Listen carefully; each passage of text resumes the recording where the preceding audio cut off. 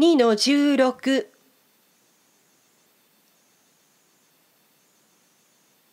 やわに曰く人多く頓生せざることは我が身をむさぶるに似て我が身を思わざるなりこれすなわち遠慮なきなり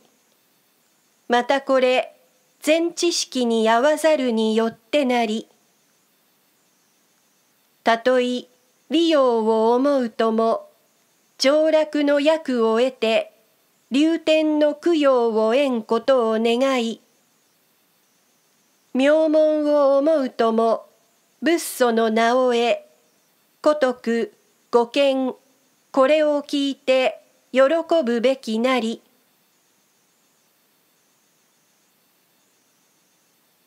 2の17やわに曰く個人の曰く明日に道を聞きて夕べに死すともかなりと今学童の人この心あるべきなり皇后多少の間幾度かいたずらに生じいたずらに視線。まれに人参を受けたまたま仏法に会えるとき好みをどせずんばいずれの小にか好みをどせん。たとえ身を惜しみ持ちたりともかなうべからずついに捨ててゆく命を一日変しなりとも仏法のために捨てたらんは用語の楽印なるべし後のこと明日の格形を思いてすつべき世を捨てず行ずべき道を行ぜずして、いたずらに日夜を過ごすは口惜しきことなり。ただ思い切って明日の格形なくは飢え死にもせよ小声死にもせよ今日一日道を聞いて仏意に従って視線と思う心をまず起こすべきなり。叱ると金馬、道を行じえんこと一条なり。この心なければ、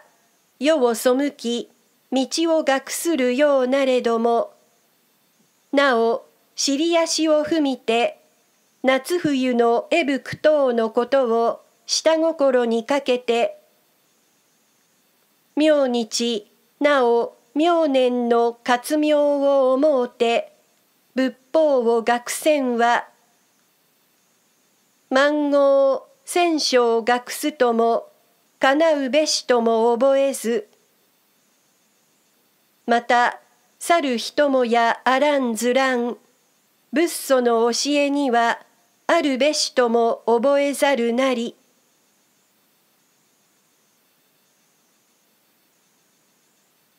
2の18やわに曰く学人は必ずしすべきことを思うべし。道理はもちろんなれども例えばそのことをば思わずともしばらくまず婚姻をいたずらに過ごさじと思うて無用のことをなしいたずらに時を過ごさずして線あることをなし時を過ごすべきなりそのなすべきことの中に一切のこといずれか大切なるというに